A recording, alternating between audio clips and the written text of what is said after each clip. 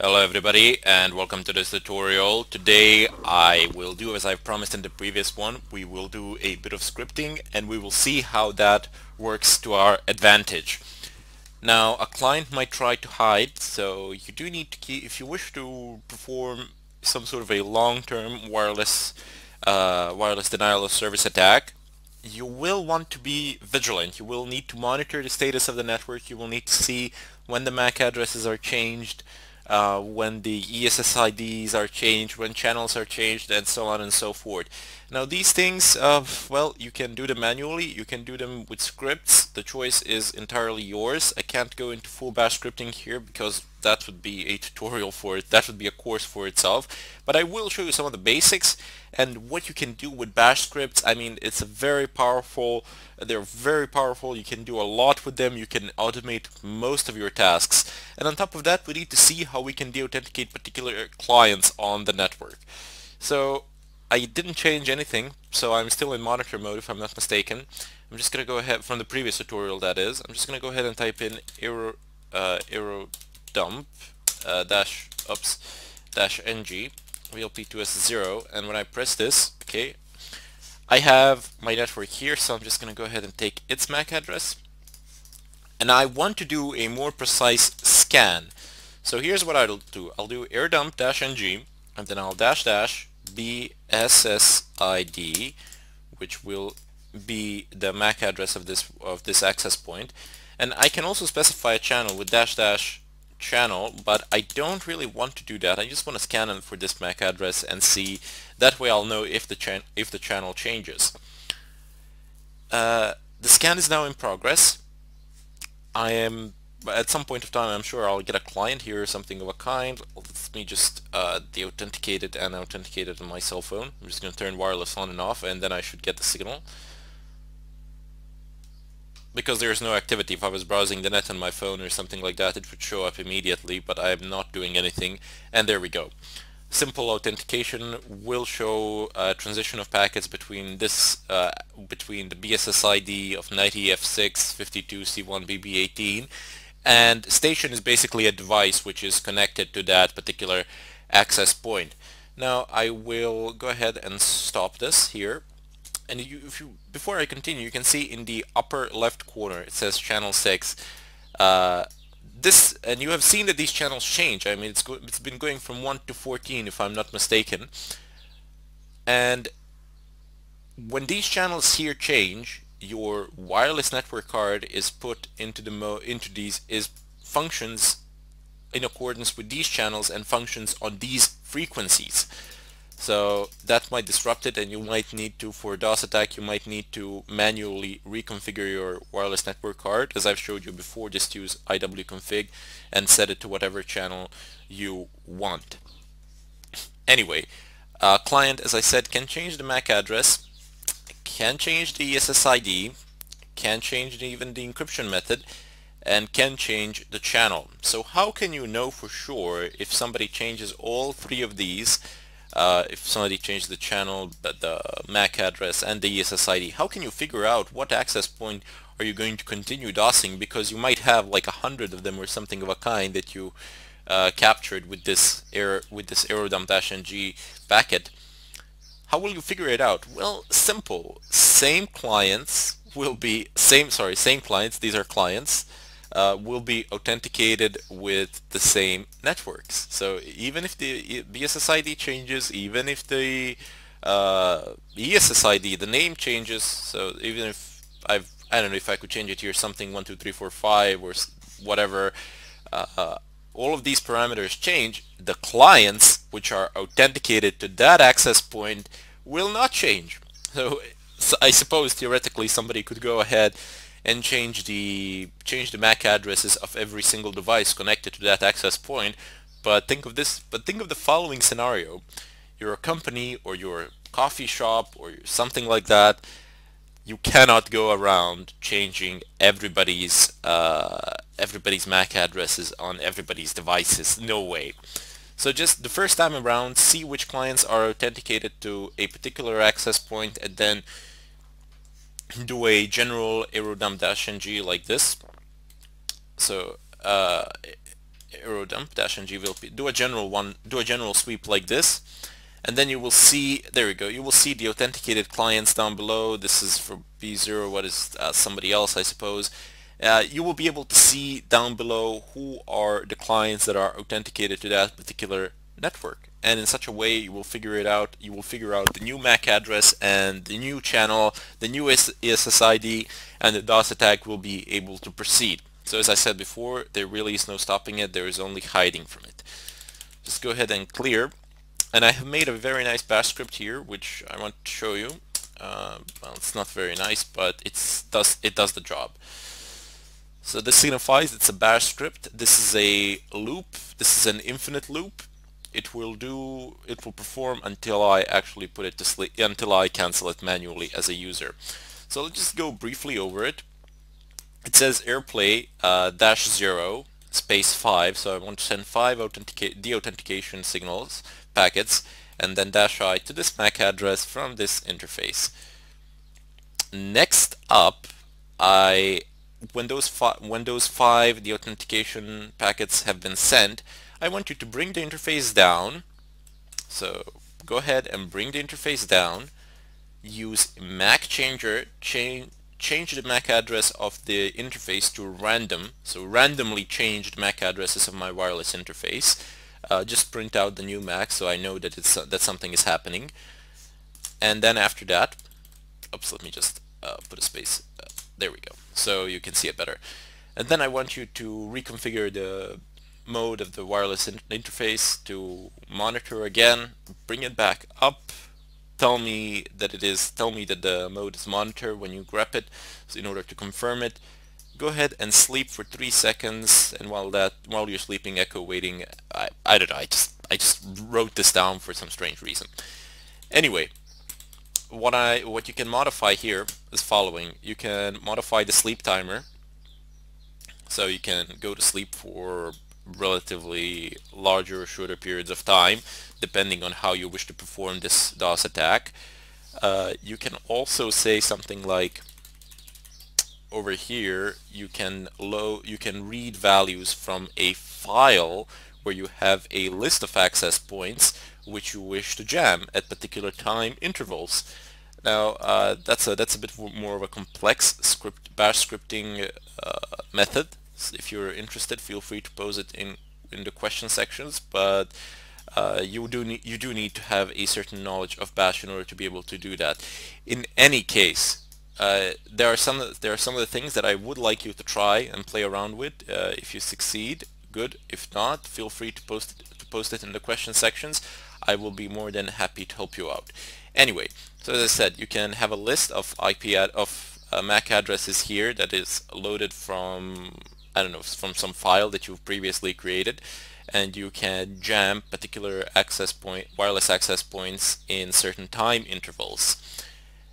When you do that, you will also need a command down below in order to change to the appropriate channel because you will also need to know the channels of those um, access points. So iv config uh, vlp to a 0 channel and then you will need to specify a channel name here. So 7 or I don't know 3 or 1 or something like that.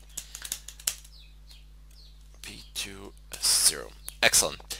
So not a bad idea. You, uh, you can you can increase the effectiveness of your wireless jamming you can effectively uh, basically jam your entire neighborhood which I definitely do not recommend as that is illegal but uh, people have been known to do it. I mean, uh, some somebody somewhere figures out uh, figures out how to do it and is genius enough to actually attempt it. There's literally no gain in it. It just uh, just mess just annoying the neighbors, I suppose, something like that. But anyway, you can, as I said, you can change the time intervals. That's not a bad idea at all. Uh, you feel free to play around with this as much as you want with this part here in the loop and if you come up with any new ideas or something of a kind feel free to post them in the discussion section in the discussions I will be more than happy to take a look at it and see what you have done on your own because that is really one of the best ways you can learn something. Anyway, let's just go ahead and apply the script and see what happens. uh, no, I do not wish to save any changes. Anyway, before you can run a script, you of course need to do chmod. I have done this previously, but let me just show you. Uh, plus x, so to make it executable, jam dash dot sh, and then I'm just going to type in jam dash sh, and see I am again on the wrong channel. Waiting for beacon from on channel 7. VLP is on channel 7, but access point uses channel 6. Excellent. So this actually even tells you on what channel is the is the wireless access point. Fantastic. So IV config VLP to as 0 channel. Let me just quickly change this. Uh, 6. Excellent. And now we can begin the jamming process. Excellent. So you see here it sends uh, 5 the authentication attempts, the one that I've selected and then it changes the MAC address to something, I don't know, unknown, and then it, it, brings monitor mode back up again. It says waiting. When it says waiting, it's sleeping for uh, three seconds or something of a kind, whatever you write down. And you see the process is just going to repeat itself on end uh, pretty much until you shut the computer down or until you terminate the process by killing the PID or just pressing Control C. Not a bad way to deauthenticate at all, but there is another thing that you can do. So you see here, uh, let me just see AirPlay. Nope, I don't want. I don't want AeroDump. Excellent. So AeroDump, and you can use AeroDump in combination with AirMon, but there is a trick to it you have to manually configure the channel for aerodump-ng so it doesn't change the channel. If it changes the channel, your deauthentication attempts will not go through. So channel, and let's just tell it 6, press enter. Excellent. Now it's permanently scanning on channel 6 and you are able to monitor any and all changes that take place here. So for example, if there are some changes that take place, you notice them, you can implement them elsewhere. And by that I mean if you simply lose this wireless, if you if you no longer see it, uh, perhaps the channel has been changed or the BSSID has been changed, you can, oh, great, I even got the handshake here. Amazing. Oh man, without any, well, I suppose it's because, oh no, wait. I'm actually not even performing the authentication, I just got the handshake. It doesn't matter. Anyway, uh, if you lose it, cancel it and do a general sweep uh, without the BSSID specified and without the channel specified. But you can also try just with the BSSID specified and with the channel not specified because somebody could have just changed the channel and BSSID could have remained the same. One of the methods that you can apply and yep, I'm gonna use this in conjunction. I'm gonna use uh, the jam.sh which starts up air, air AI replay in conjunction in conjunction with basically AeroDump. So I can monitor the status and what is going on here. In addition to that, I can actually jam the signal as well. And even though it says that this uh, that this station is actually authenticated with it, uh, believe me, on my Android phone or whatever this is, I would not be able to browse the internet. There is no way. I would be continuously deauthenticated. It would be impossible for me to even open up a basic website that would be that would be beyond the abilities of the device. As I said before, you can actually use your own phones, you can use your own tablets or whatever other devices in order to confirm this. But you can see that these tools can actually work one with uh, parallel to each other. No problems as long as they are all uh, using as, there, as long as you cannot you cannot tell your wireless card to function on several channels at once. At least I don't know how to do that. Maybe you can somewhere on the net. It's a you can you, they definitely can be at the same time. They can be modulated, but you cannot have them at running at the same time. So you do need to adjust the parameters a little bit, and then you can use several of these tools at once. You can monitor the status. You can jam it. Uh, here uh, you can you can even get a VLP2 handshake or something like that. And you say it says here interface is down because I have brought it down. Anyway, I thank you for watching and I hope to see you in the next tutorial. Until then, I bid you farewell and I urge you to try to do things on your own as much as you can as that is absolutely the best way to learn. Okay, so let me just do a quick show. Here you can actually clear and uh, nano jam. Excellent. So instead of actually doing a general deauthentication here, you are also able to do this. So space dash C for client and I'm just going to stop this for now. I'm going to take this client, so just take the MAC address of the client where it says C pasted, Control O to save, uh, Control X to exit, and now I wish to run jam. Excellent. It says sending 64 direct deauthentication, acknowledgement, blah blah blah, whatever. Uh, this is all verbose output from from the program that's all that it is and it says which client in specific is it actually de-authenticating that can be a pretty big problem. As see I'm gonna do temp-ng channel 6 okay. It says interface VLP is down. Okay so sometimes it's not gonna actually work out as I said before primarily because I'm bringing the interface down, but the scanning is actually in progress. And even though the station might show here as actually connected or something of a kind, try browsing the net, as I said before. Try doing anything with it on the internet. You won't be able literally to move because nothing will be able to pass through. That's going to be a pretty big problem. As I said before, you can confirm this with any of your uh, devices. You won't be able to do anything with them. I just wanted to show you how you can actually jam a particular client. You can also set the rotations here to, I don't know, jam a particular client for a while and then jam a different one for a while. Again, you can have a list of clients here and load them up from a file so they can modulate you're jamming this client for five minutes for the next five minutes the next one and so on and so forth in such a way creating a bit of a chaotic situation anyway I I strongly urge you to to try.